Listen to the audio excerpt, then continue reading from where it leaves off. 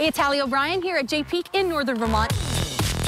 Home to some of the East Coast's most challenging terrain, and the tree skiing and riding is amazing. By the way, they've gotten dumped on this year, nearly 20 feet year to date, and March is pretty good to them too. So if you're looking for some skiing and riding in April, you know, under the sun, that whole spring skiing vibe, Jay Peak's got you covered.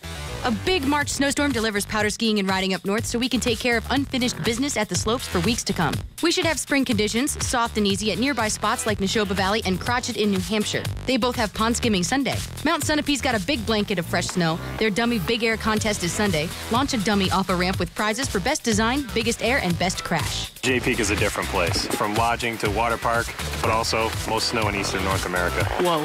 We get to go outside, and make turns, some of the best terrain on the East Coast, some of the best tree skiing and riding on the East Coast. Mm-hmm. And the snow is that. insane here. The trees, they're amazing. And we're gonna go there? I'll take you there right now. All right, let's go. Nearly two feet of fresh snow just made our day that much more exciting with a soft cushion at Cannon Mountain's backcountry Mittersill trails. And three dozen different glades of Bretton Woods feel so much better with a soft white coat. Shawnee Peak's mattress races Sunday. Winner gets $1,000 and a new king size mattress. Thanks for watching the snapshot. Head over to snocountry.com for more information. And happy St. Patrick's Day, by the way. I'm going to go find my pot of gold. It's at Apres. See you next time.